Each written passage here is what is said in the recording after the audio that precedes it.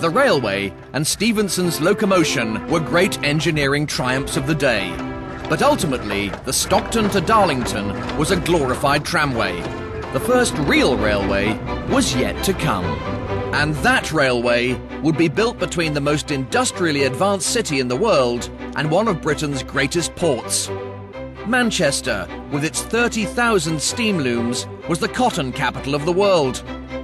Liverpool traded raw cotton from America and sent finished fabric around the globe.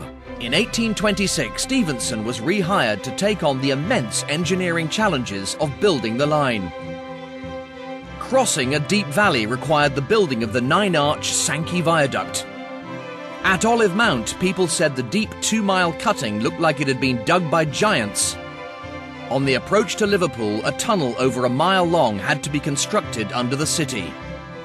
The excavation cost many lives, but it was an engineering masterpiece, and of course required the best locomotives in the land.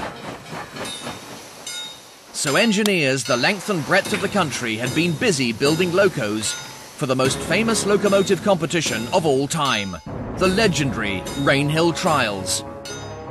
The winner would take a £500 prize and a contract to build locomotives for the new railway line.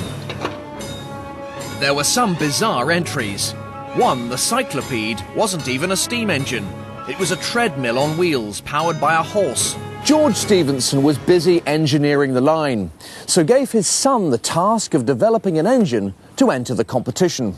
It was the Rocket.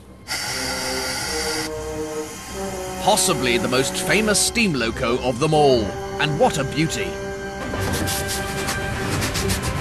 A key design feature was a new boiler capable of producing steam pressure at 50 pounds per square inch.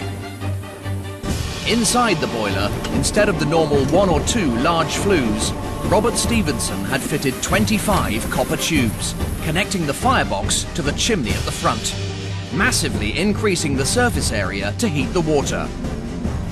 He also brought the cylinders outside the boiler and set them at an angle simplifying the connections to the drive wheels and creating a smoother ride. In a final display of showmanship, Stephenson sent Rocket off for a high-speed run and achieved 35 miles an hour. The public and press were ecstatic. For the first time, humans had travelled at a higher sustained speed than was possible on horseback. The rocket had won and secured its place in history